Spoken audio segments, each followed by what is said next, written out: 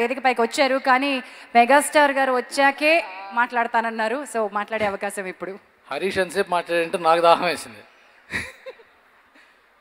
అందరికి నమస్కారం. నేను సినిమా ఇండస్ట్రీకి వచ్చిన కొత్తల్లో చిరంజీవి గారిని చూడాలనుకునేవాడిని. కొన్నాళ్ళకి చూశా.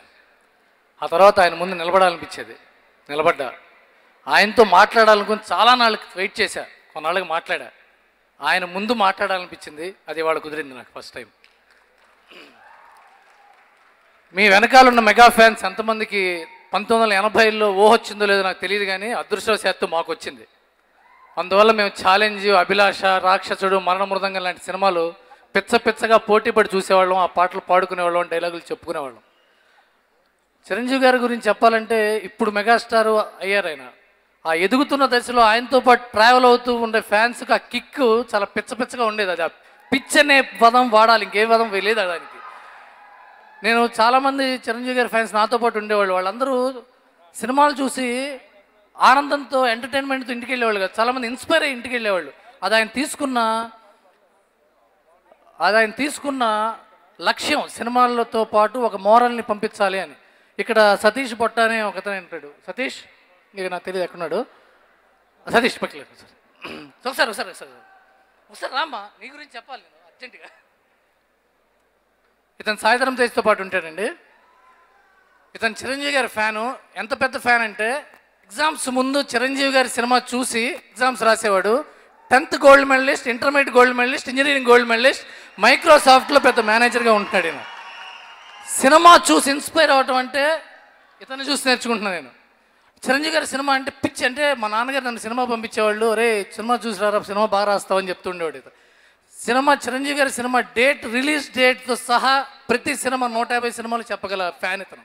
ఇతను చూస్తే ఇతను నాకు బ్రదర్లా ఫీల్ అవుతాను. అది చిరంజీవి బ్లడ్ బ్యాంక్ బ్రదర్షిప్ అది. అలాగే నాకు వేణుగోపాల్ రెడ్డి అని నా ఫ్రెండ్ ఉన్నాడు. నాతో పాటు హైదరాబాద్ వచ్చాడు. ఇప్పుడు హరీష్ చెప్పాడు కదా పది పైసలు సీను. అతను ఫుడ్ లేదు మాకు. ఏం చేయాలో తెలియక తిరుగుతుండే రోజుల్లో ఏంటి చిరు? అతని పేరు చిరు అని పిలిచేవాళ్ళం మేము అంత ఫ్యాన్ ఆయన చిరంజీవి గారి ఫ్యాన్. ఏం చిరు ఏం చేస్తామంటే బాస్ చెప్పాడు కదా మా పది పైసలతో యాభై లక్షలు సంపాదించవచ్చని జేబులో ఐదు వందలు ఉన్నాయి సంపాదించలేమా అన్నాడు. ఇప్పుడు తన పెద్ద సాఫ్ట్వేర్ కంపెనీకి సీఈఓగా పనిచేస్తున్నాడు వేణుగోపాల్ రెడ్డి. ఇలా ఇన్స్పైర్ అయిన వాళ్ళు ఎంతోమంది ఎంతోమంది. ఆ ఇన్స్పిరేషన్ పొందిన వాళ్ళలో మీరుంటారు నేనుంటాను ఎంతోమంది ఉంటాం.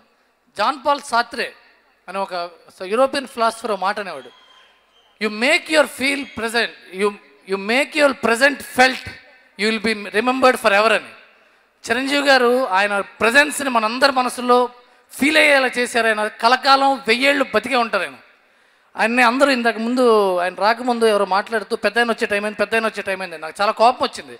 పె- పిల్లలు కోడళ్ళు వచ్చే పెద్ద ఆయన ఎవరు? ఆయన ఎప్పటికీ అన్నయ్య మనకి. అన్నయ్య అని ఒకసారి అరవండి! అలాంటి చిరంజీవి గారి ముందు నేను ఇంకా మాట్లాడాలి చాలా చాలా మాట్లాడాలని ఉంది కాకపోతే హరీష్ ఇప్పటికే నాకు వాటర్ ఇచ్చే పరిస్థితి తీసుకొచ్చాడు. నాకు సాయిధరం తేజ్ గురించి ఎప్పుడు మైక్ పట్టుకున్నా మర్చిపోతుండే సాయిధరం తేజ్ గురించి మాట్లాడడానికి కానీ వాళ్ళు మర్చిపోవడం భావి భావ్యమే. చిరంజీవి గారి గురించి మాట్లాడితే నీకు హ్యాపీగా నీ గురించి కంటే. నీ గురించి మన గురించి ఏముంది బ్రదర్? ఎప్పుడైనా మాట్లాడుకోవచ్చు. అలా నేను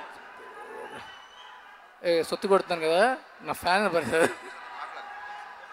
ఒక విషయం చెప్పాలి రవి బాగా గుర్తు చేశాడు. Gabbar Singh interval scene shooting చేస్తున్నప్పుడు